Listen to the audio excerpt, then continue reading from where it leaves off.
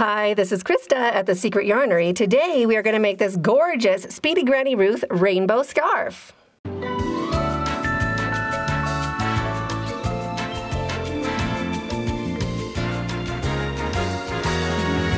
You're to love this pattern so much. It's a super simple one row repeat and no ends to sew in. Plus, you don't have to crochet super long rows because the tassels add about 12 inches of length. It's a great stash buster and looks fantastic in any color combination. It also has no holes, so it makes a really great gift for all the friends in your life that don't like holes in their crochet. And if you'd like to follow along with the written pattern, it's available over on my website, secretyarnery.com. And you don't have to worry about being able to read a pattern. All of my patterns are written in plain English, just like I'm speaking in this video. The finished size of my scarf is 62 inches long by 7 inches wide. My tassels are approximately 6 inches long, so the finished size with tassels, 74 inches or 187 centimeters centimeters. To make your Speedy Granny Ruth rainbow scarf, you will need five different colors of yarn and also a neutral. You will need an 8 millimeter crochet hook for your starting chain, a 7 millimeter crochet hook for your scarf, eight stitch markers, a pair of scissors, and absolutely no needle. so let's get started.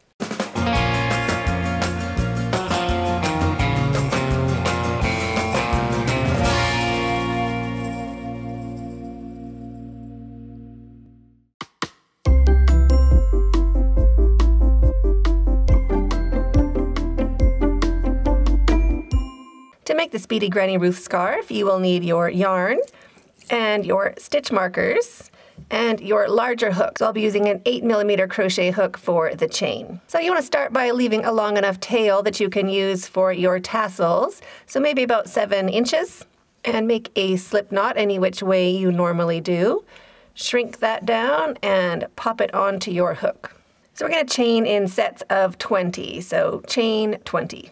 One, two, three, 19 and 20. You'll see your pretty little V's, so just kind of hold your thumb softly on the top of those V's and roll that chain to the side. And you will see these bumps along the back, these little camel bumps. These are your back loops, and we want to put one stitch marker into that back loop that's right underneath our working yarn, this loop right here. So slide a stitch marker into that back loop of the chain you just made, your 20th chain, and chain 20 more. One, two, three, 19, and 20. Now do the same thing, your thumb gently on the top of those pretty V's, and just roll it to the side. Look for that back loop or the camel bump right underneath your working yarn right here, and slide in a stitch marker. And you want to keep going, making your sets of 20 and popping in a stitch marker until all eight of your stitch markers are used. And if you'd like to make your scarf a different length, you can make yours any multiple of four. So pause the video and I'll meet you back when you've used up all your stitch markers. When you have used up all of your stitch markers or chained 160, take that larger hook out, go back to your smaller hook and chain three. One, two, and three. And we also want to be working into our back loops. So you see your pretty little V's. We want our V's facing up. Just rest your thumb on the top of those V's softly and turn it to the side. And now you will see these loops at the back or these camel bumps. The first one is right underneath the working yarn. It's hiding right underneath the working yarn. So there is one, two, three. Number four is right where our stitch marker is. So we're just gonna go underneath that one back loop so wrap your yarn and into the fourth chain from your hook, the fourth back loop. Just go in and make one double crochet. And you can take that stitch marker out if it's in your way. And into the next back loop right here, this next stitch, the next chain, one double crochet.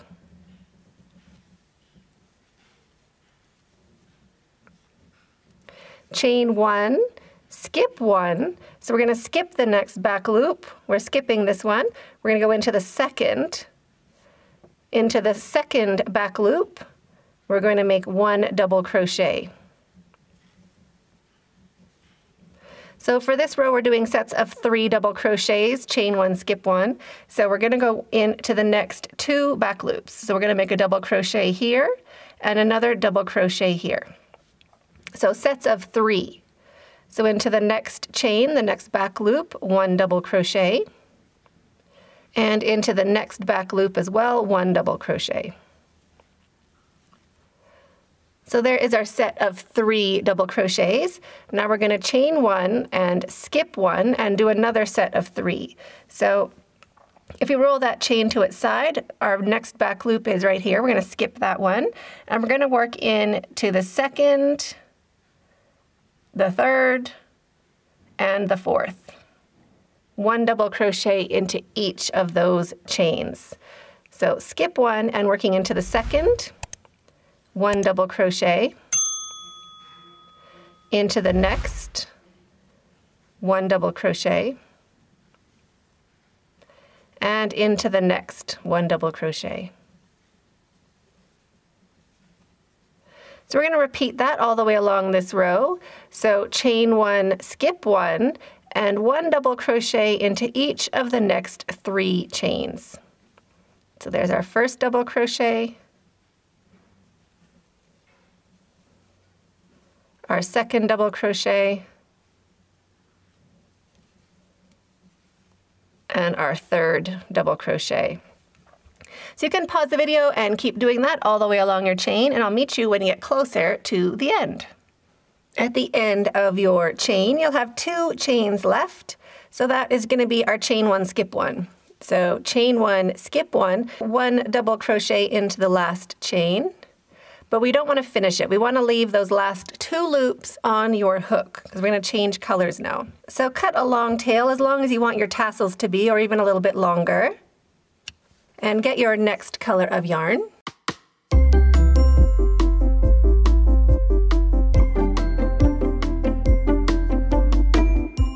Now make a loop and measure it so your tail is about the same length as your other tails. And put that loop onto your hook.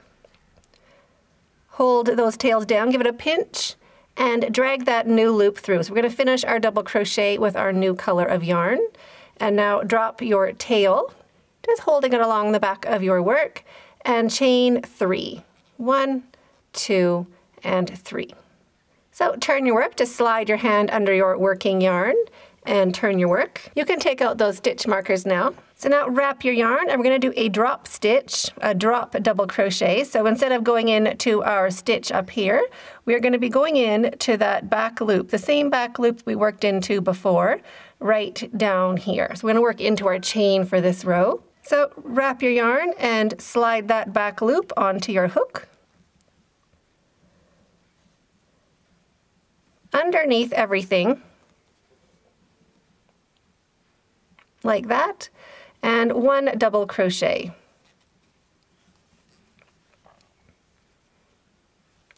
One double crochet into the next stitch, which is right here. One double crochet. Chain one, skip one. So we're skipping this middle double crochet for the whole pattern. Wrap your yarn into the stitch right before the space, one double crochet. Into that space, we're going to be working into that chain at the very bottom. Wrap your yarn and into that chain, that back loop, just sliding it onto your hook and putting your hook all the way through, just like this, and one double crochet. One double crochet into the next stitch, which is right there. and chain one, skip one. We're going to skip that center double crochet and work into the next. So we're working into the double crochet right before the space. One double crochet. And we're going to work into the space. We're going to go into this back loop down below. Does our hook all the way through? So all of that will be on the top part of our hook. So wrap your yarn and a drop double crochet into that chain underneath the space and one double crochet into the stitch right after the space.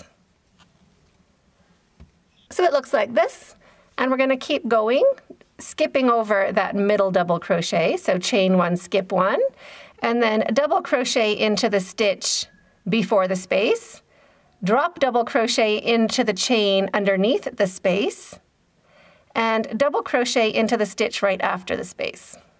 So wrap your yarn, double crochet into the stitch before the space, wrap your yarn, double crochet into the chain underneath the space, and double crochet into the stitch right after the space. So you can pause the video and keep working along this row and I'll meet you when we get to the end. After your last set of three, you will have this little circle left, this little lump. So our chains count as double crochets in this pattern. So this is our last set of three, one, two, and three. We're gonna skip the center double crochet and use the top of the chain three as our third double crochet. So at the end of the row, chain one, skip one, and into the top of our chain three, two strands of that chain on the top of our hook, one double crochet. But we're not gonna finish it. So start your double crochet, wrap and take off two, leave those last two loops on your hook. Now go ahead and cut your yarn, leaving a long tail for your tassels.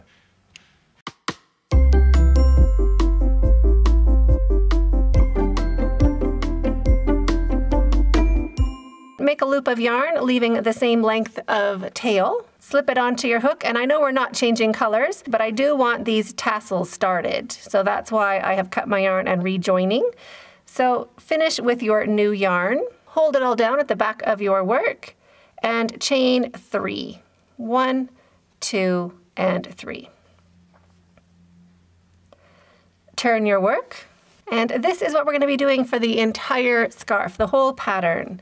So we're always going to start with a chain three and turn, a drop double crochet into this stitch. So now we're going to be working right into this stitch right here. So wrap your yarn, two strands of that stitch on the top of your hook, one drop double crochet, and into the next stitch, one double crochet. Chain one, skip one, always skipping that drop double crochet in the row below, and into the first double crochet before the space, one double crochet. Wrap your yarn, one double crochet into the stitch below the space. It's going to be doing our drop double crochet down here. There is our drop double crochet and our last double crochet into the first stitch after the space. Just like that. So chain one, skip one, wrap your yarn into the second stitch or that first stitch before the space, one double crochet. Wrap your yarn, one double crochet into the stitch below the space, down here. That's our drop double crochet and one double crochet into the next stitch. So you can pause the video and keep working along and I'll meet you when you get to the end of your row. To finish your row, chain one, skip one, so we're skipping that last double crochet, and we're gonna work in to the top of that chain three, just right there.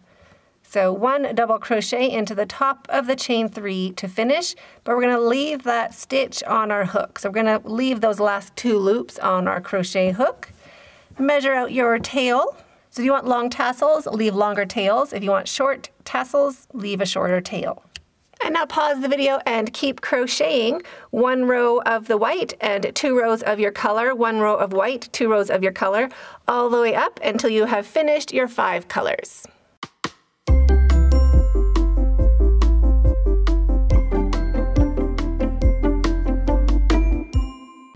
After you have finished the second row of your last color, we're going to do our very last row a little bit different and leave the same long tail you always have been and just finish that stitch with your neutral color yarn. Drop your tail and pinch them down at the back of your work and chain three.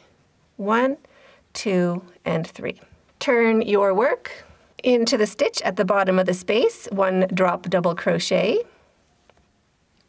and now into the next three stitches, one double crochet into each. One, two, and three.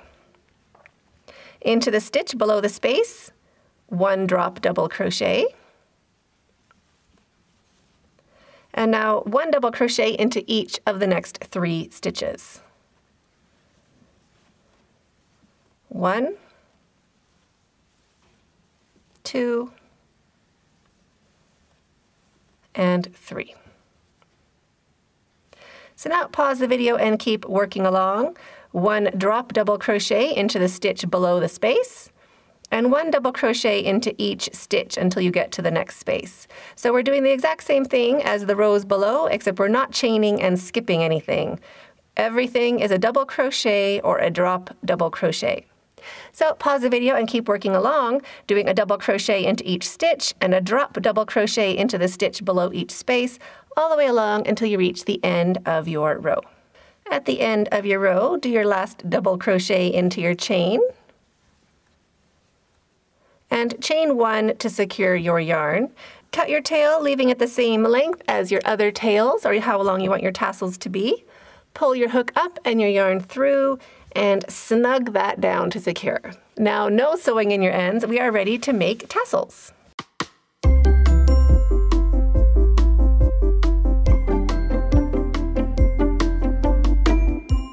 So now go ahead and take your pairs of yarn where we changed colors and give those a little knot. Just one little school knot all the way along, just to secure our tails, just like that. And now go ahead and get your yarn and get a book that is about the length that you want your tassels to be, and preferably a hardcover so it has this little groove along the top. That is a great place to slide your scissors under.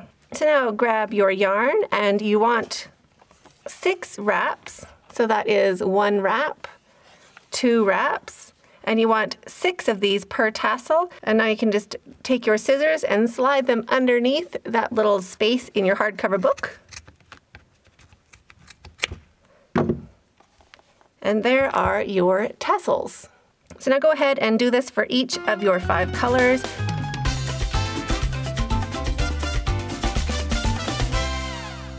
So we're going to alternate our tassels, white color, white color, white color, all the way along. So starting and ending with white. So get your six strands of white yarn, as even as you can, and just hold it open with your thumb. Grab a smaller crochet hook. I'm using a four and a half. And slide it into this very first spot right on the edge. And you want to make sure you have two or three strands of yarn on the top of your hook. Get those loops on your hook, pull them a bit tight so they're as small as they can be. You have some tension, and pull it through that stitch. Just like that. And make a big loop about four centimeters or an inch and a half. Grab those tails and bring it through, so like a big slip stitch with all of that yarn.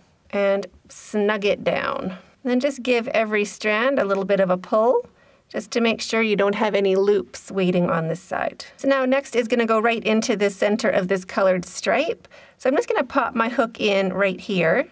I want to make sure I have two strands on the top of my hook and I want to get my blue yarn ready. So six strands and again just keep it on your thumb. Slide it onto your hook. Pull it down. You want these to be as small as they can be on your hook so it'll be easier to get it through that chain or that stitch. And now bring them through for one or two inches. And you can either use your hook or your fingers. to slide your fingers in or your hook and bring those tails through. So one nice little slip stitch.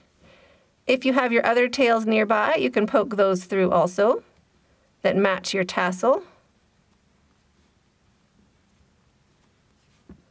Like that. And snug it down. Again, grab your tails individually just to make sure they're not, you don't have any super loose ones. You don't have to pull them like really, really, really hard, but you just want to make sure they're not gaping or you don't have a big loop of yarn. So there's two. Next is going to be white. And we're just going to go into that center stitch. Lots of yarn on the top of our hook. Get that tail out of our way. Loops of yarn on your hook and bring it through. Bring it up and you can just slip stitch with all that yarn to join or you can use your fingers to slip stitch if you don't want to use your hook. Go ahead and snug that down. You can use a smaller hook now, just insert it back down into that um, slip knot you just made. Grab your tail and bring it through. Next is going to be green, then white, yellow, white, orange, white, pink, and we'll end with white. So you can just pause the video and keep working along, putting your six strands of yarn into the appropriate spot, making sure you have two or three strands of the stitch of your scarf on the top of your hook, and I'll meet you when you have all your tassels joined. Now to trim your tassels, you can use some masking tape and just line up where your shortest ones are keeping it parallel to your scarf. And just kind of tape those down to hold them. That little guy should be in there too. And then one more piece a little higher up. Just at the tip of those short ones, like this guy right there, these ones over here. And then just to check, you can use a measuring tape and just measure that all your tassels are about the same length. Now taking a larger pair of scissors, sharp ones if you have, and just slide in between the tape right along your table.